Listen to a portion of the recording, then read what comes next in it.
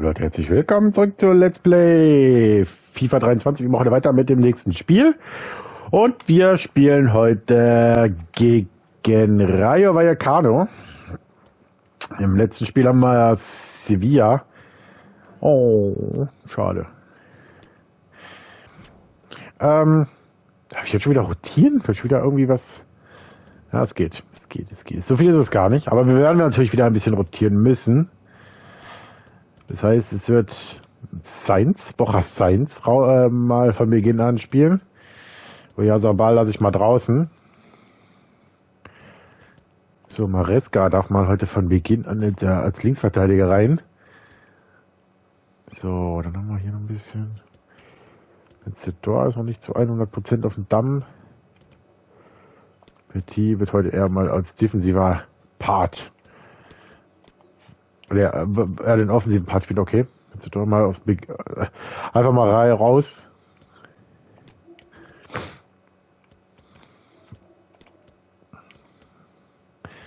Das hier, wie gesagt, ich werde mal zwischendurch ein bisschen durchrotieren müssen. Chair, der mal auf der rechten Seite heute spielt. Rechts hinten mal verteidigen darf. Mochi.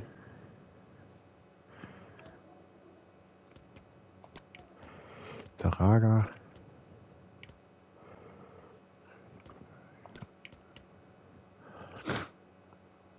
Es hat nie immer irgendwas mit irgendwen gegen irgendwen. Es ist immer mal zwischendurch.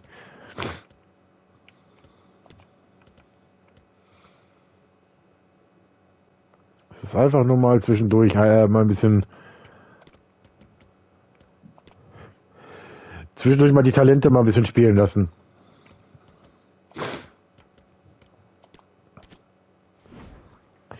So. Auf geht's ins Match. Spielt da. Ich weiß gar nicht, wo wir sind mittlerweile. Williams ist heute im Mittelpunkt. Denn vier Tore aus den letzten drei Spielen sprechen für sich. Wir zeigen sie Ihnen live. Bleiben Sie dran.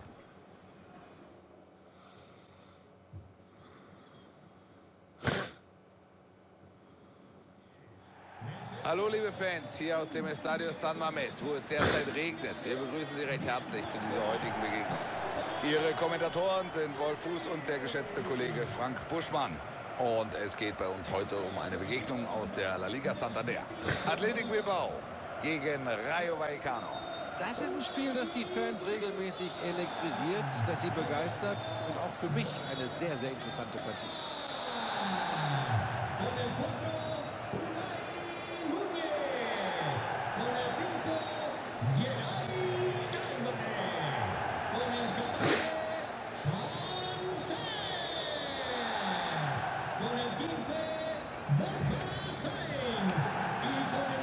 Sehen eingeblendet die Aufstellung von Bilbao.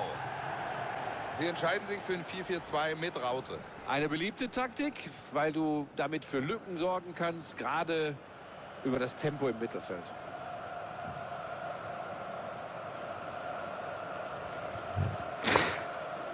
Ja, ich vermute es.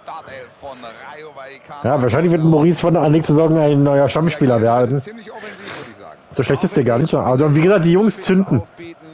Auch Petit. Aus dem Mittelfeld nach.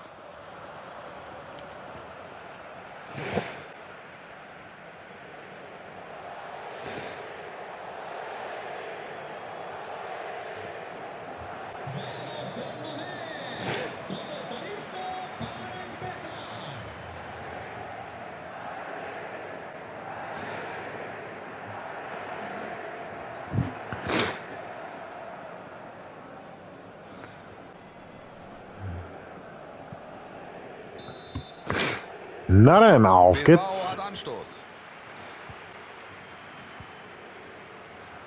Mareska. Wie gesagt, zwischendurch mal die Talente spielen lassen, dafür ist das Bilbao ja gut. Und dann ist es Janis Petit. Herr Wedi. Ja, im letzten Spiel gab es dieses überzeugende 15 2 gegen Sevilla im Hinspiel im Pokal der Copa Halbfinale.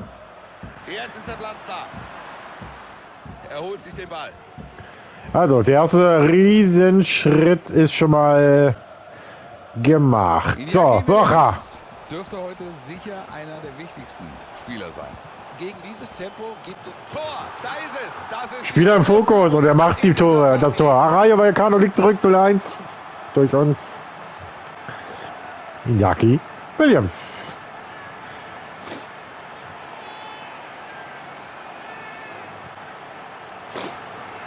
Da ist nochmal die Entstehung dieses Tors. Zunächst die Flanke und das ist einfach nur ein exzellenter Kopfball. Ja, da kann der Verteidiger aber auch hochspringen, wie er Lust und Laune hat. Der Weg ist einfach frei.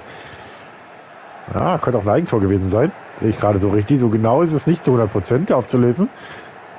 Aber es wird äh, Yaki zugeschrieben. Jupp, 38. Also der wird auf jeden Fall locker über 40 fast machen, vielleicht 50. Es sind nämlich noch ein paar Spiele. Wie gesagt, wenn der abgeht über, wenn der gehen könnte über 100 Millionen. Der zündet extremst. Und dann wüsste ich nicht, wie ich holen soll. Aber wir haben ja, wir haben genug Möglichkeiten. Also theoretisch wenn dann. Und sie verlieren den Ball dann doch. Nun jetzt, Barret. Barret, Barret. Seitz, aber Bocha Seitz. Gut gemacht, da jetzt. Er hat immer wieder seine Spielzeiten. Bocha Seitz. Da passt gehalten, Ball noch am Pfosten. Also der hatte da, hatte der Keeper den schon fast noch gelenkt, den Ball. Okay. Geil. Gut. Gemacht. Papier, Easy Pierson. Ah, ich erinnere mich an, ich erinnere mich an das Hin- Hinspiel. Was haben wir da gespielt? 4-3 oder so? Oder 5-3, 6-3? 6-3, glaube ich, war es. Ich erinnere mich an den Spieler. Der hat mich damals das heißt so gemacht. gefährlich werden. Schöne Ball im Spiel gehalten. Schön die Flanke abgeblockt. Nun yes.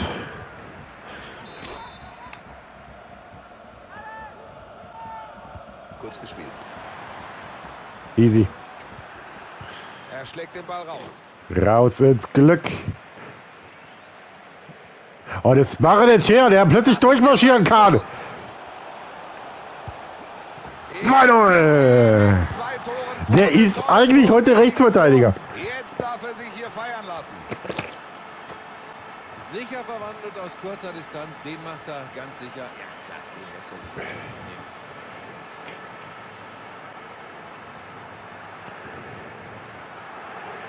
Ja, er kann wirklich hochzufrieden sein, hat seine Mannschaft richtig gut eingestellt.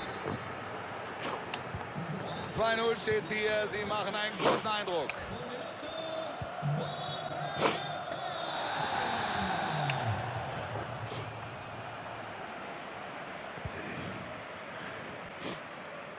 Bocci. Bau ist die spielbestimmte Mannschaft, zeigt sich natürlich auch an der Ballbesitzquote. Und auch die Chancen holen sie immer wieder raus, sind enorm aktiv. Also mit dieser Und dann ist es Williams. 3-0. Der zieht. Sie lassen den Gegner überhaupt gar keine Chance gerade.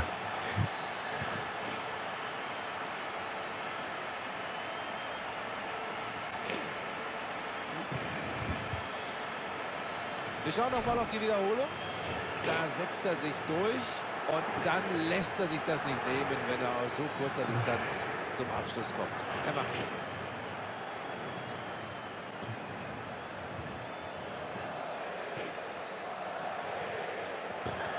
Jo, passt soweit. Es wird jetzt hier gewechselt. Sie wechseln nach einer halben Stunde schon aus.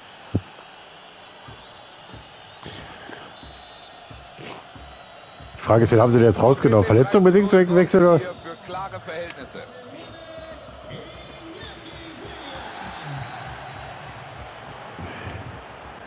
Ich weiß gar nicht, wie die jetzt rausgenommen haben, aber wahrscheinlich haben sie die Verteidigung da nochmal gestärkt. Sanchez. Guter Vorstoß da jetzt. Oh, das war ein bisschen falsch gespielt. Da jetzt. Puh, da war ich aber komplett lost auf der Nummer. Ich weiß nicht, wie, wie die jetzt ausgewechselt haben. Also. Sanchez. Williams. Gut verteidigt. Und Williams. Williams, das ist viel zu einfach alles gerade. Oh, ist zur Stelle. Eine unglaubliche Parade macht diese tolle Chance zunichte. Die lassen uns hier gerade machen, wie sie Lust und Laune haben. Schön diesen Pass ab. Herr Wedi. Garcia. Elvedi. Ball kommt steil.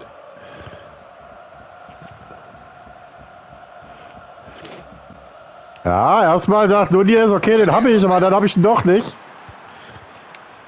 Wichtig, dass er sich Ball holt.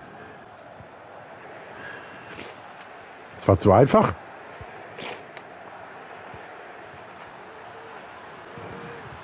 Der wäre gut gekommen, aber der Schuss wird abgebrochen. Ball von Nunez. Und der im zweiten Versuch hat er den, zumindest Ecke. Erstmal geklärt, ja, aber auf Kosten. Rayo kommt wieder so ein bisschen rein. Ecke in den Strafraum. Und Er ab ab. Pause. 3-0. Das war's für diese erste Hälfte. Wir hören den Pausenpfiff. Pause Wir 3-0. sehen's hier, der macht eine richtig gute Partie. Ihm gelingt heute fast alles, ist quasi nicht zu verteidigen.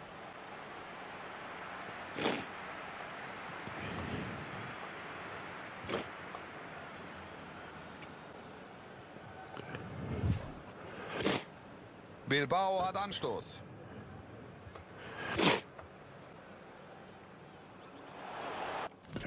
So. Auf geht's. Halbzeit Nummer 2. Anpfiff zur zweiten Hälfte. Weiter geht's hier im San Mames. Also verdiente 3-0-Führung.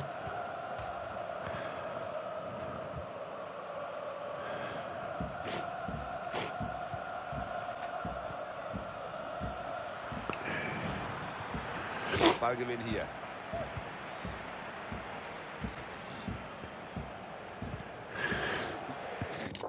Entschuldigung. Mann, ich sag ja, habt ihr schon mal, habt ihr schon mal erwähnt, ich habe eine Heuschnupfenallergie, das ist gerade die übelste Zeit. Äh, deswegen kann das aber mal passieren, dass ich zwischendurch niesen muss. Seht es mal bitte gerade ein bisschen nach. Ich habe meine Tablette genommen, ja, aber. Mareska. Und der nächste Treffer. Enzo Morris. 4-0. Sie lassen nicht nach, erhöhen damit auf vier Tore Vorsprung.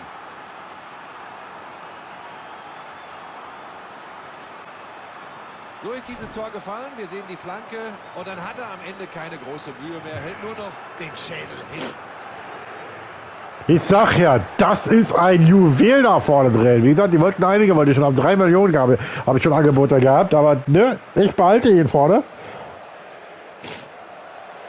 Ganz entspannte Minen auch am Spielfeldrand. Die deutliche Führung. Er weiß, das müsste es in dieser Partie eigentlich sein. Eine einseitige Angelegenheit. Das drückt auch das Ergebnis aus. Ah, Costa. Die Flanke bleibt hängen. Ecke Geray war da dran, verhindert also diese Flanke, zumindest dass die durchkommt. Also 4-0 ist schon mal raus. Aber wie gesagt, wir behalten diesen 6 Punkte Vorsprung. Kommt rein. Leichter Ball für Unai Simon. Wir haben vielleicht nicht unbedingt immer die stärksten Spieler. Wir haben aber eine Mannschaft. Und das ist halt auch was äh, ein bisschen was ausmacht. Siege in Deutschland 2014 zum Beispiel. Und der nächste Treffer, 5-0 Rayo. Äh, 5-0 für, für uns gegen Rayo. Na, was ich meine gerade, einfach dieser Mannschaftsgeist. Das ist eine Truppe. Für jede Mannschaft kämpft jeder. Auch wenn man sich immer, wenn man nicht immer hinbekommt. Wir haben bisher alles. Und dann müssen wir hier seine Nervenstärke loben. Kurze Distanz, schaut kurz, wo ist die Lücke und findet sie.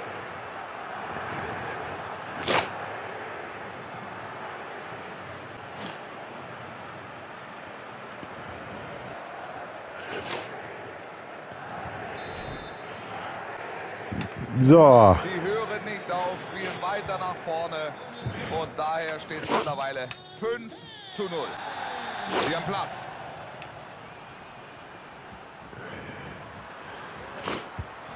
Der geht genau auf den Torhüter. Murci. Kurz zum kommenden Gegner von Vallecano. Ja, es geht gegen Real Madrid im nächsten Spiel in der Und Spanischen. Da hast du natürlich noch extrem Bock drauf, so eine Klatsche zu kriegen und dann der nächste Gegner Madrid. Wobei Real aber auch nicht so gut ist diese Saison. Wie gesagt, haben sie zweimal haben wir sie schon geschlagen. Im Pokal sind sie nicht mehr mit dabei. Energisch den Ball geklärt, es gibt Einwurf. Ach, das ist jetzt einfach.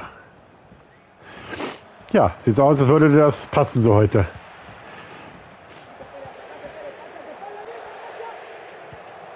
Mit äh, Maurice, vielleicht Fragezeichen? Nein, nein, nein, nein, der kommt erstmal nicht durch. Aber der kommt durch. Williams und Diego Lopez.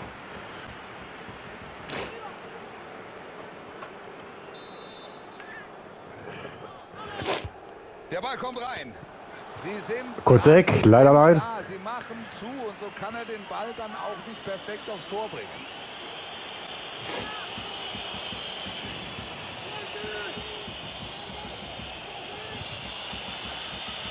So, die Ecke wird jetzt gleich kommen. Nee, wird gar keine Ecke geben, von wegen. Es gibt Abstoß. Okay.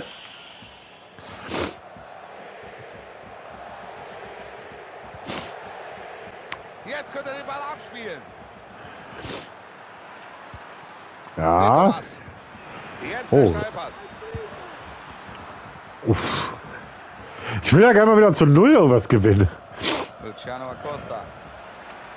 Schießt.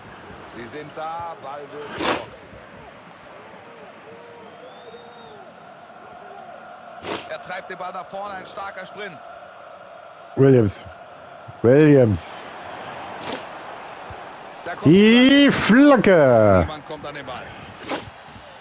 Da ist die Chance. PT. Und die Chance ist vorbei. Er wirft sich in den Schuss.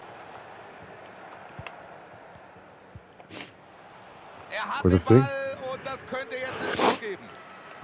Da ist die Flanke. Und Williamson. Keiner da, schade. Super Aktion, gut geklärt. Und er muss Abseits. Kein Tor. Abseits, abseits, Wolf. Wir schauen rüber an die Linie. Die Entscheidung ist sofort gefallen. Aber klar, eine gute Chancenverwertung. Also Williams nicht, aber Maurice, glaube ich, vorne.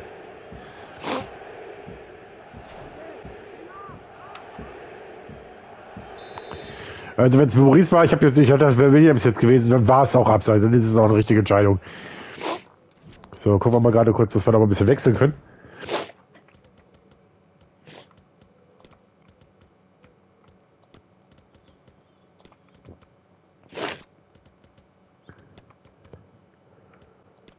So.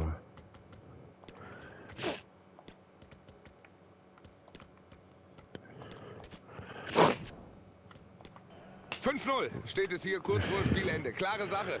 Können wir schon mal auf die nächste Partie schauen, Buschi?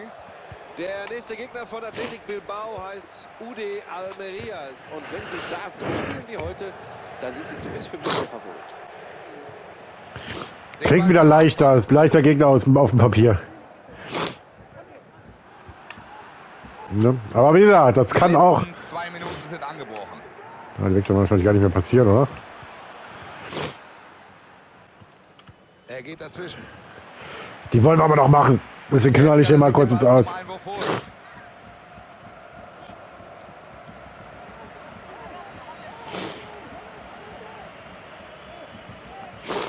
Elvedi. Santi Comesania.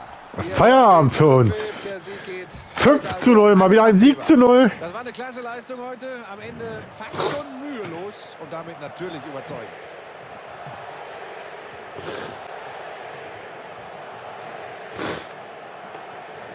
In der Form, die er heute gezeigt hat, ist er natürlich unverzichtbar für die Mannschaft. Man Der sieht jetzt gerade gar nichts. Sie gewinnen hier und er hat auch noch eine klasse Leistung abgerufen. Wie Sie sehen, sehen Sie nichts.